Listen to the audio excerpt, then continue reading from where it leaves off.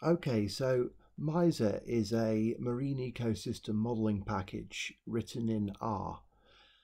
The original version was written by Finlay Scott and Julia Blanchard and Ken Andersen. Now, I was employed uh, around about two years ago uh, to improve Mizer for the MINOUW project to reduce discards.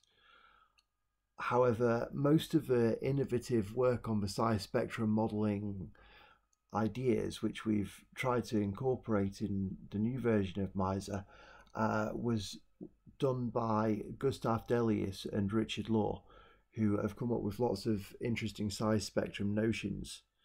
Now, these videos just basically reflect my personal perspective uh, on using Mizer and at the time of speaking these videos are very much a work in progress that needs a lot of updating.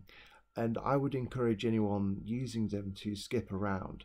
So for the fishery scientist who's interested in getting into using Mizer I would recommend getting onto the online app perhaps using this video to show you how to get onto it and then playing around with the app and getting a kind of feeling for what type of things Mizer does.